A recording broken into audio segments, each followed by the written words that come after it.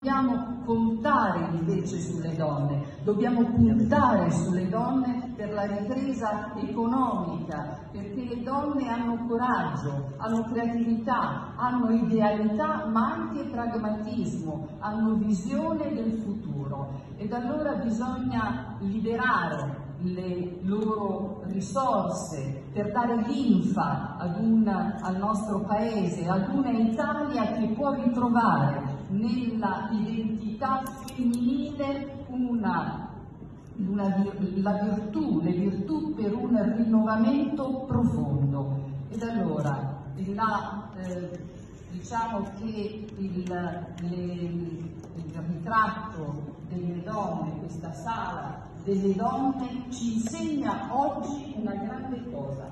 Grazie Presidente ci insegna a guardare indietro per guardare avanti, come già di fronte, per guardare e scrutare i volti delle prime donne per scommettere con forza nella via femminile per, come volano per un futuro fatto di prospettive e fatto di opportunità.